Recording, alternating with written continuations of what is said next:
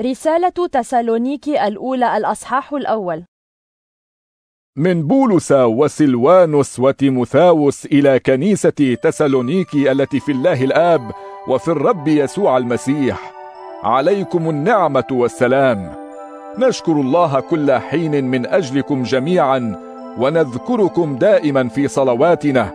نذكر أمام إلهنا وأبينا ما أنتم عليه بربنا يسوع المسيح. من نشاط في الإيمان وجهاد في المحبة وثبات في الرجاء.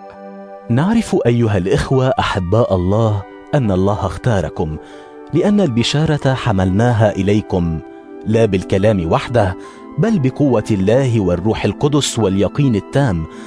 فأنتم تعرفون كيف كنا بينكم لأجل خيركم كيف اقتديتم بنا وبالرب فعانيتم كثيرا.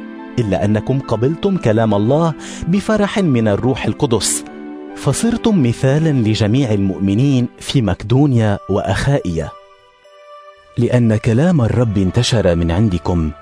لا إلى مكيدونية وبلاد أخائيا وحدهما بل ذاع خبر إيمانكم بالله في كل مكان وما بقي من حاجة بنا إلى الكلام عليه.